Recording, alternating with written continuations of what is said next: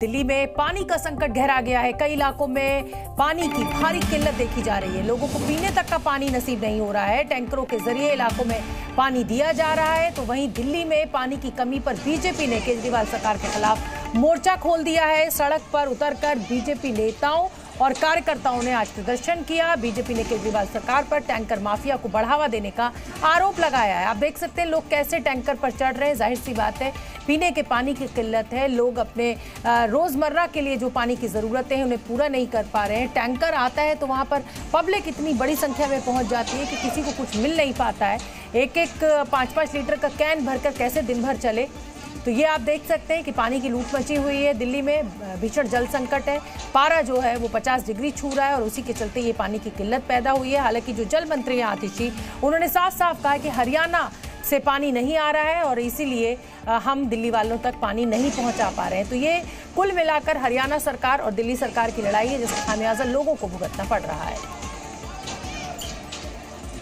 ये चार तस्वीरें आप देखिए, गीता कॉलोनी, संगम विहार, संजय कैंप चाणक्यपुरी की और बीजेपी उधर प्रदर्शन कर रही है। तो ये तीन तस्वीरें लोगों की परेशानियों को बयान करती हुई कि पानी की किल्लत से वो किस तरह से जूझ रहे और चौथी तस्वीर जो है, वो सियासत अब शुरू हो गई है इस पूरे मुद्दे पर और बीजेपी का एक लंबा चौड़ा प्रदर्शन आज आम आदमी पार्टी के खिलाफ दिल्ली में चल रहा है।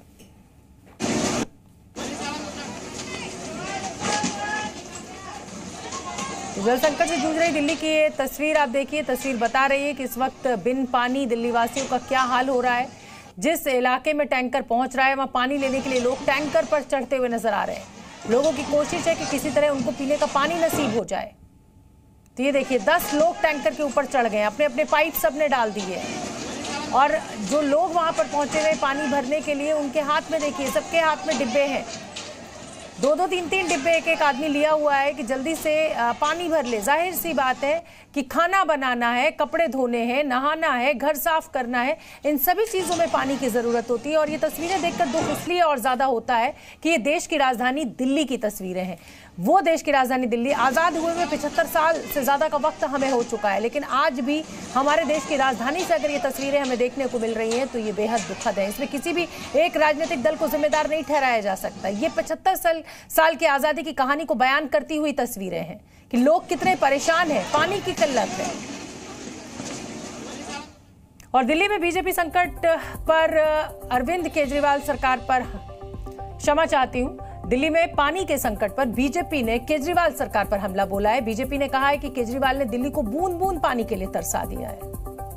पानी के लिए त्राहिमाम कर रही है। ये आम आदमी पार्टी की सरकार ने एक बनावटी क्राइसिस क्रिएट करा है।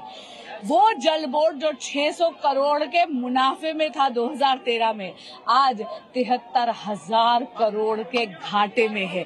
जवाबदेही बनती है केजरीवाल सरकार। ये वो सरकार है जो हमेशा वचन देती थी मुफ़्त पानी के। आज दिल्ली बूंद बूंद के लिए तरस रही दिल्ली का जल संकट अरविंद केजरीवाल के कुप्रबंधन का नतीजा है। मैं आंकड़ों के साथ साबित कर सकता हूँ कि दिल्ली को एक हज़ार उनचास पानी क्यूसेक पानी हरियाणा दे रहा है और लगातार दे रहा है। लेकिन ये इन लोगों का हालत वही है कि इनका जो तिरपन प्रतिशत पानी सिर्फ़ बर्बाद इसलिए होता है कि इनको रखरखाव नहीं कर सकते। दिल्ली के जल संकट पर अब बीजेपी का हल्ला बोल, कल दिल्ली सचिवालय के बाहर प्रदर्शन किया था। बीजेपी ने दिल्ली सरकार पूरी तरह से विफल है, ये बीजेपी लगातार कह रही है, आरोप लगा रही है और कल से ये प्रदर्शन जो है वो दिल्ली सचिवालय के बाहर चल रहा है। दिल्ली जल संकट पर बीजेपी का हल्ला बोल पुलिस को कड़ी मशक्कत करनी पड़ रही है। और आप देख सकते हैं किस तरीके से नारेबाजी हो रही है। प्ले कार्ड लेकर आए लेकिन यहाँ आपको ये भी समझना होगा कि हरियाणा सरकार, क्योंकि पानी नहीं छोड़ रही है कैनाल में। यमुना में पानी नहीं आ रहा है और इसीलिए जो वाटर ट्रीटमेंट प्लान है, वहाँ पर पानी का जलस्तर गिर गया है और इसीलिए दिल्ली वालों को दिक्कत हो रही है। अंजलि मेरे साथ जुड़ रही है इसी बड़ी खबर पर। अंजलि, देखिए, ये दो सरकारों की लड़ाई है, लेकिन दिल्ली की जनता पिस रही है। आप किसी को भी ब्लेम करते रहिए, लेकिन ये समस्या बहुत भीषण है और ये समस्या इसलिए ज़्यादा दुखद है कि आज़ादी के पचहत्तर साल हम पूरे कर चुके हैं। हम बड़ी बड़ी बातें करते हैं, लेकिन पानी तक अपने नागरिकों को हम नहीं दे पा रहे आ, बिल्कुल देखिए शोभना जी आपने सही कहा कि बिजली पानी ये सब वो मुद्दे हैं जिन पर हर सरकार हर प्रतिनिधि जो है हर पार्टी जो है वो वोट मांगती है।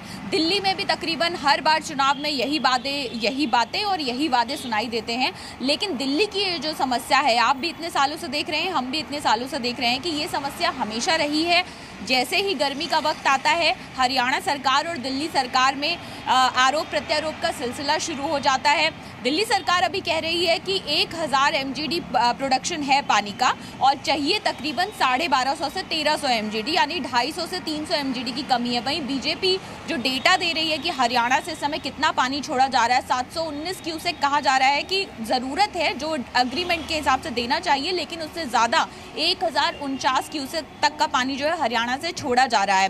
तो अब बात फिर वहीं पर आकर अटक जाती है कि आखिर इसमें कसूरवार कौन है क्योंकि पिस तो दिल्ली वाले रहे हैं। जहाँ तक बात करें इस पूरे एक्शन प्लान की जो आ, सरकार जब मुसीबत आती है तो सरकारें तब जो तत्परता दिखाती है अगर ये पहले से दिखाया जाए क्योंकि इस बार गर्मी को लेकर भी पहले ही जानकारी दे दी गई थी कि इस बार भीषण गर्मी पड़ने वाली है और ऐसी हीट वेव के बीच में जब लोग इतना परेशान हो रहे हैं, लोग घंटों घंटों पानी के लिए इंतज़ार कर रहे हैं, घर के बाहर खड़े होकर इंतज़ार कर रहे हैं। ये भी कह दिया गया है, दिल्ली सरकार की ओर से कहा गया है, चूँकि वाटर की सप्लाई कम है, इसलिए जिन इलाकों में पहले दो दफ़ा पानी जाता था, दिन में दो बार जाता था, वहाँ पर एक ही बार वाटर सप्लाई हो पाएगी। तो ऐसे में लोगों को कितनी ज़्यादा दिक्कतों का सामना करना पड़ रहा है? आज दिल्ली की जो जल मंत्री हैं, आतिशी, उन्होंने एक लेटर भी लिखा है केंद्र सरकार को उन्होंने केंद्रीय जल मंत्री को ये लेटर लिखा है जिसमें उन्होंने अपील की है कि हरियाणा और उत्तर प्रदेश से पानी दिलवाएँ।